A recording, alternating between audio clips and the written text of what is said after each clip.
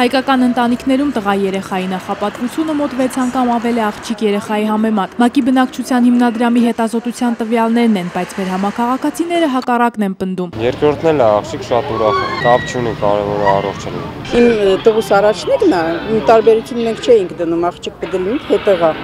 Մեկը մենք սիրում ենք երեխեքին։ Կարևորը մեր հայազգը շատանա, դա կապ չունի տղայի միջոցով թե աղջիկա։ Հոկտեմբերի 11-ը աղջիկ երեխաների միջազգային օրն է։ ՄԱԿ-ի զեկույցների համաձայն տղամարդկանց աշխարհում աղջիկների համար ավելի բարդ է հաղթահարել դժվարությունները։ Իննամիա Էմիլիայի համար միակ դժվարությունը մաթեմատիկայի խնդիրների լուծումն է, բայց արդեն նկատել է աղջիկների եւ տղաների բնավորության տարբերությունները։ Մեր ΒԱԿ-ի տղաներն էլ են ինչ որ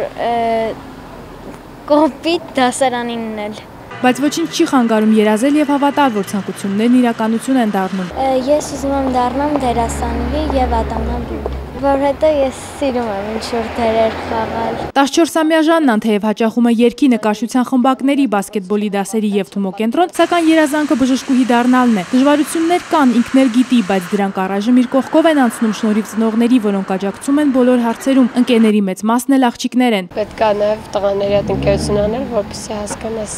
թե իրանց մտածելակերպն ինչ ձև է, այս աղջիկներին ինչ ձև տարբերություններն ու նմանությունները գտնես։ Սեպտեմբերի 30-ից հոկտեմբերի 6-ն ընկած ժամանակահատվածում մայրաքաղաքի ծննդատներում լույս աշխարհ է եկել 478 երեխա, 242 տղա, 236 աղջիկ, բայց Հայաստանում սերով պայմանավորված հղիության արհեստական ընդհատումը շարունակում է լուրջ խնդիր մնալ։ Դրա արդյունքում աղջիկների եւ տղաների թվի հարաբերակցությունը խիստ խախտված է։ 100 աղջկա դիմաց մեր երկրում ծնվում է 113-ից 114 տղա, մինչդեռ նորմալ հարաբերակցությունը 100 աղջկա դիմաց 102-ից 106 տղան է։